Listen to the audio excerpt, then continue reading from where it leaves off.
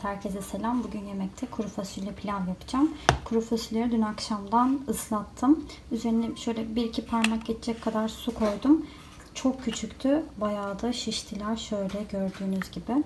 Şimdi tenceremin altını açacağım. Bu arada şu döküm tenceremi ilk defa kullanacağım. Yeni almıştım. İlk yemeğimi de kuru fasulye olarak planladım. Evet şimdi haşladığım kuru fasulyeleri tencereye alıyorum. Bayağı da bir olmuş. 2,5 bardak e, suyla yaptım. Su bardağı biraz büyüktü. Şimdi üzerine kaynar su ekleyeceğim.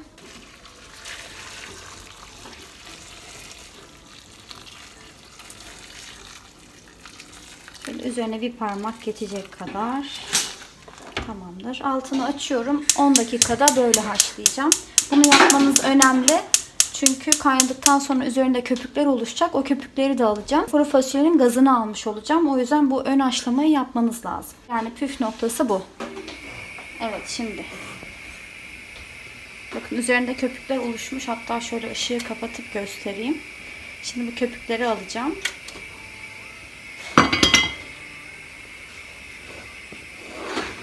Bakın. Şöyle. Şimdi kuru fasulyelerimin suyunu süzdüm. Burada da bir tane büyük soğanım vardı. Ee, küçük küçük doğrayacağım.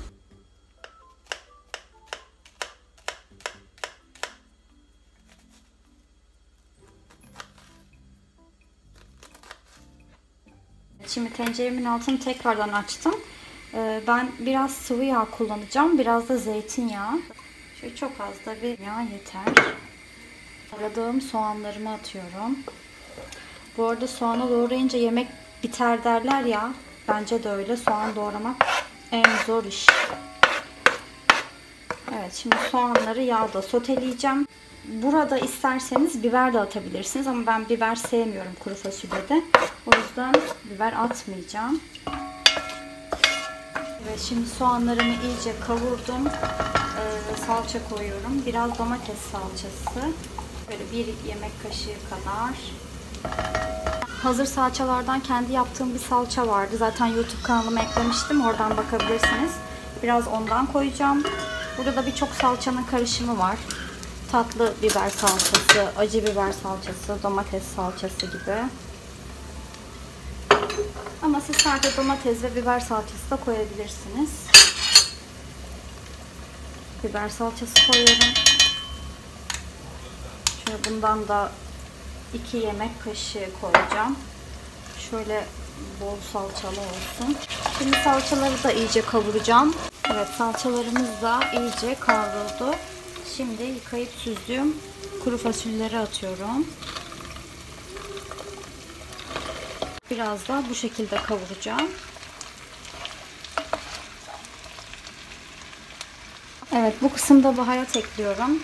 Biraz tuz. Biraz karabiber. Çok az kimyon. Biraz da pul biber atıyorum. Ve üzerine kaynar su ilave ediyorum. Yine üzerine 1-2 parmak geçecek kadar.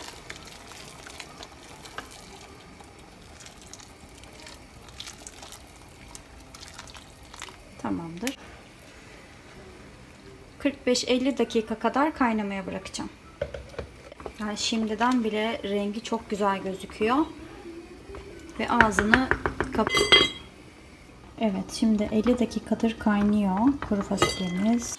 Ben bu arada sonradan bir tane şöyle ilikli kemik ekledim.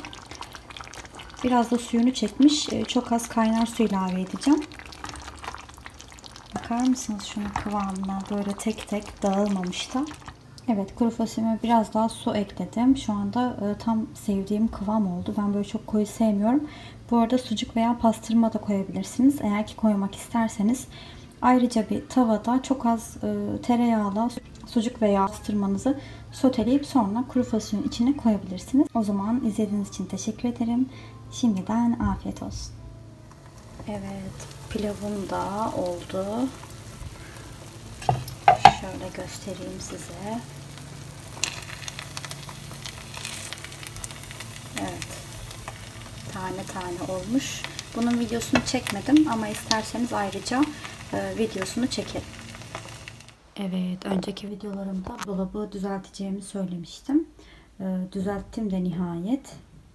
Bakar mısınız? Şu ortaları, içleri full doluydu. Elime ne geçerse atmıştım. Şimdi neyse ki düzenledim. Çok güzel oldu. Şurada çok gereksiz askılar vardı. Onları çıkarttım. Şu alt kısmı düzenledim. Yani biraz yine karışık gözükebilir ama bayağı düzenli oldu. Her şeyi ayırdım. Sonra bir tane poşetimiz vardı. Şu poşet. İçlerinde e, büyük olan kıyafetler vardı. Onları seçtim içinden. Onları ayırdım. Tekrar giysin diye. Hatta şöyle kirliliği attım. Mesela şu takım var. Şöyle alt üst. Bu hediye gelmişti ama çok büyüktü. Ayırmıştım. Büyük diye ayırdığım bir poşetim vardı. Ara sıra bakıyordum içlerine. İhtiyacım olsa tekrardan almayayım. Poşetin içinden kullanırım diye düşünmüştüm. Çok da iyi oluyor. Mesela bu artık şimdi giyebilir. O yüzden bunu çıkarttım. Yıkayacağım. Sonra burayı düzenledim. Şu pembe horcun içinde küçülenler var.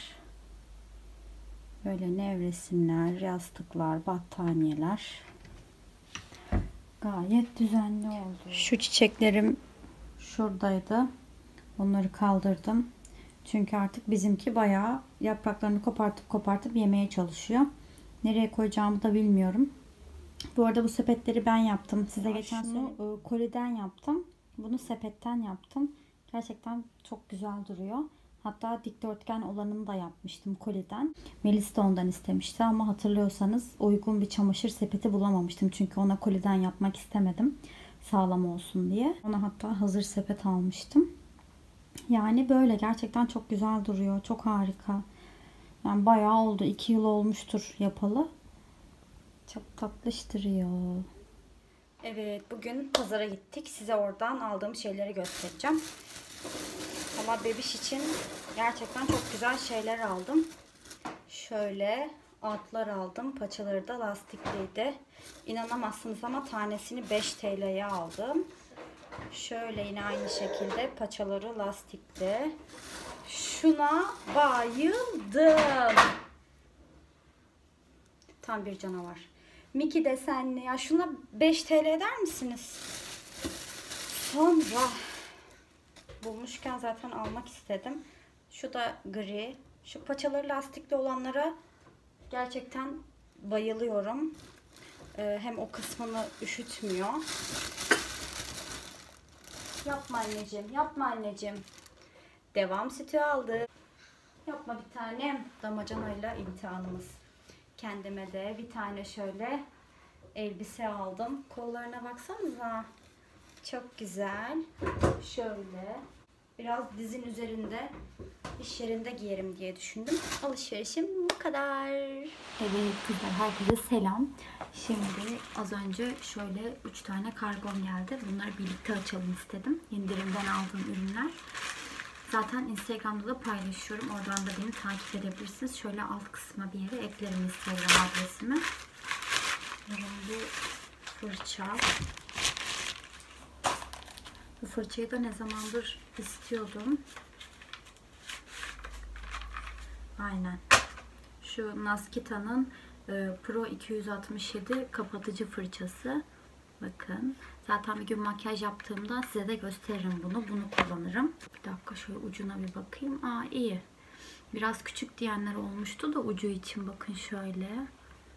Bence gözaltı için ideal gibi gözüküyor. Sonra bir tane ayakkabı söyledim. Ayakkabı dediğimde çizme. Bir tane çizmem vardı. Maalesef ki dura dura biraz kötüleşmiş. Bunu vermek zorunda kaldım. Şu Soho markasının bir çizmesini aldım. Ay inşallah güzeldir. Aa, güzel gözüküyor.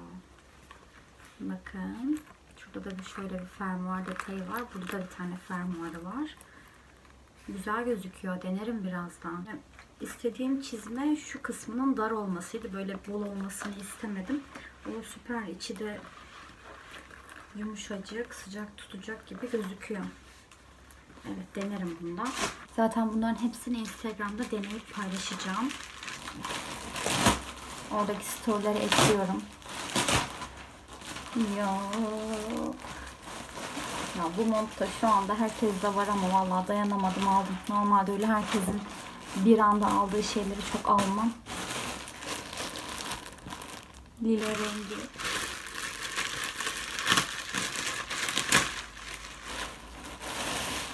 MHB'den söyledim ama inşallah büyük değildir.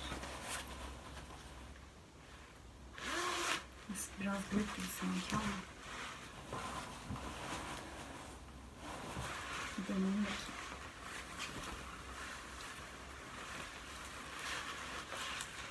Yok bence oldu. Ya çok tatlı. Bayağı beğendim. Şu kalın olması da güzel şu detayın.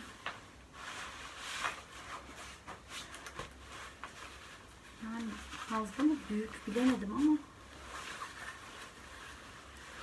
bayağı iyiymiş. Ya bu sefer bir küçüğü de zaten kış ayında içimize e, kalın giyiyoruz. Bu küçüğü de belki de çok küçük gelir. Böyle dar dar durmasın istedim. Yok ya bence iyi. Evet alışverişim bu kadar kızlar. Favorim galiba bu mont. O zaman bay bay. Evet kızlar dün annem bana hediye aldı. Şu halının güzelliğine baksanıza simli. Yani ihtiyacım yoktu ama fiyatı da biraz uygundu o yüzden aldık. Hatta kendine de aldı. Simsizini aldı. Kahverengi. Bir de da şöyle e, çıt çıtlı uzun kollu bodylerden aldık. Bunlar gerçekten çok kullanışlı oluyor. Kısa kollu var ama uzun kollu 3-4 tane vardı. O yüzden şöyle şunlardan aldık. Bunlar çok da sıcak tutuyor. %100 pamuk. Bakın. Sonra minnoşuma şapka aldık. Ya şuna baksanıza. Eldiven aldık. Şunun renklerini ben çok beğenmedim ama annem beğendi. Aslında ben şey istiyordum. Hani şöyle parmaksızlar var ya. Şöyle yuvarlak geliyor. Ee, maalesef ki bulamadım. Zaten sezon da bitmiş. Şu astronot tulumlardan da alacaktım. Ama hiçbir sitede yok kalmamış. Ondan da alamadık. Herhalde bu kış artık almayız diye düşünüyorum. Artık öbürleri alırız. Böyle bizim alışverişimiz böyleydi kızlar. Halımı serdim. Çok güzel oldu. Baksanıza. Yumuşacık. Değişik oldu, güzel oldu. Yalnız insan bazen böyle değişiklik istiyor. Benim şuradaki halım e, biraz büyüktü. Şurayı kapatıyordu. Burada da çamaşır makinesi var. Açarken zor oluyordu. Şimdi dedim değişiklik olsun şunu sereyim. bu ne ya? Bizimki de sevdi halıyı. Yumuşak diye herhalde. Farklı geldi yalnız. Bu arada şuradaki halımı da değiştirdim. Burada başka bir yuvarlak vardı artık. Bayağı kötü olmuştu. Makinede yıkanabilir bir halıydı. Yani beni 4 yıl götürdü ama artık dedim tamam. Şundan aldım. Çok güzel durdu bence. Şık oldu yani. Evet şimdi ne zamandır istediğim şu sultan tatlısından yapıyorum. Bir buçuk bardak un ekledim. Bir bardak şeker, 3 yemek kaşığı kakao. Üstüne de 1 litre süt ekledim. Şimdi bunu iyice koyulaşana kadar kaynatacağım. Yoruldum ha. Evet iyice katı bir hal aldı. Evet bir paket vanilya ve bir yemek kaşığı da koyalım mı? hangisinden? Ya o biraz sanki şey yemeklik gibi. Bir yemek kaşığı da tereyağı ekleyeceğiz, karıştıracağız. Hangi günleri? Evet şimdi bir buçuk bardak Hindistan cevizi serpiyorum şöyle tepsime. Biraz karanlık ama şimdi şöyle muhallebimizi döküyoruz.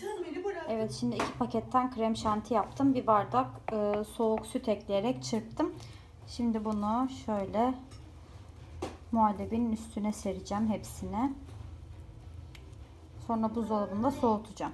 Aslında soğutursanız daha iyi olur. E, krem şanti koymadan önce ama şimdi tabii benim vaktim yok. O yüzden böyle yapıyorum. Evet şimdi buzdolabından çıkarttım. E, bir iki saat kadar dinlendirdim. Aslında bir gece bekletilse daha iyi olur. Şimdi benim çok vaktim yok dediğim gibi. Şöyle gördüğünüz gibi kestim şu şekilde. Şimdi spatula ile bunu saracağım. Ee, ilk defa yaptım. Birazcık düzensiz oldu.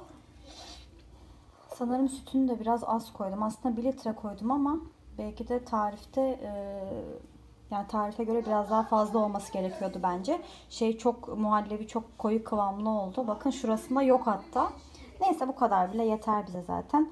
Şimdi şunu saracağım. Kim merak ediyorum.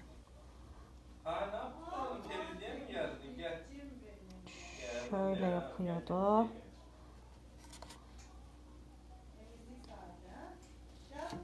Hmm, fena değil. Oldu gibi. Ay evet güzel oldu.